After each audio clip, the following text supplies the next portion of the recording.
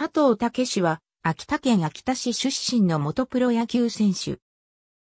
秋田商業高校では1年からベンチ入りし、3年春夏に甲子園出場。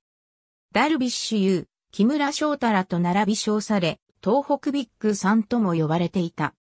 なお、肘や肩に負担をかけさせないようにという監督の方針から高校時代まで試合で変化球はカーブしか投げなかったという。2004年のドラフトで最速150キロのストレートが評価され、1巡目で広島東洋カープに入団した。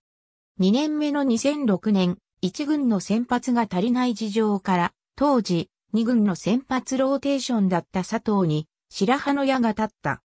4月20日の横浜戦でプロ初登板初先発をするも3回途中9失点で降板し、敗戦投手となった。その後は肩、腰などに故障が相次ぎ、2軍でも成績が落ち込んだ。制球力向上のため投球フォームの改善を繰り返し、5年目の2009年は2軍でプロ初関東、完封を達成した。しかし、年間を通しては、制球難に苦しみ、球速も130キロ台になるなど伸び悩んだ。2010年には痛めていた右肘を手術したものの、復調の兆しは見られず、10月3日に球団から戦力外通告を受けた。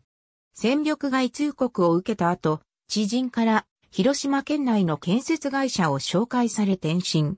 12月から研修を行った。ありがとうございます。